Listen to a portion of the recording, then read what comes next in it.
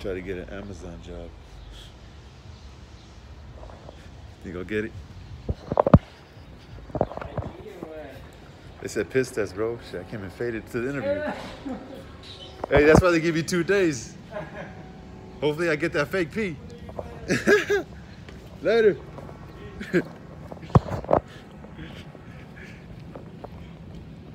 yeah. It'll be a cool job to get if I could pass the drug test. Shit, I don't think I would have came in if I didn't smoke. So, I don't know. This is a pretty chill job. It looks hella cool, man. Hella cool people in there. But uh, see. It's a lot different than construction. Looks like a lot of cool ass cats in there. Dudes that probably are like are athletic and go play sports and shit. You know? That dude I was clowning with, he was like, uh, he looked like he was pretty athletic. They start right here at 9:15 in the morning and don't finish. They work four days. Oh my God! I hope to God I get this job. I gotta get some fake pee or something or drink some shit. It's Damn.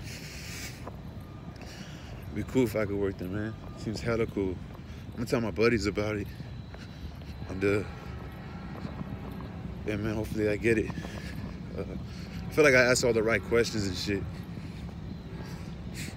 Okay, so you work like four, four days, ten hour days, and like you to me, man, that shit's perfect, man.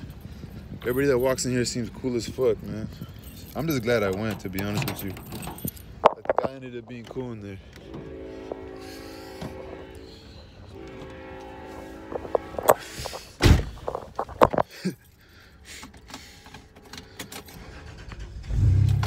so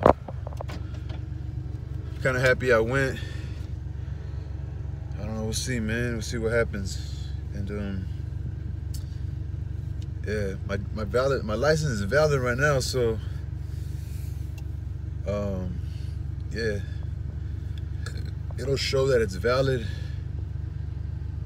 And um, yeah, so that'll be pretty cool. I gotta figure it out. But you know, the first step is trying. You know what I'm saying? I'm gonna smoke a little bit more to feel good, and I'll holla at y'all. Peace.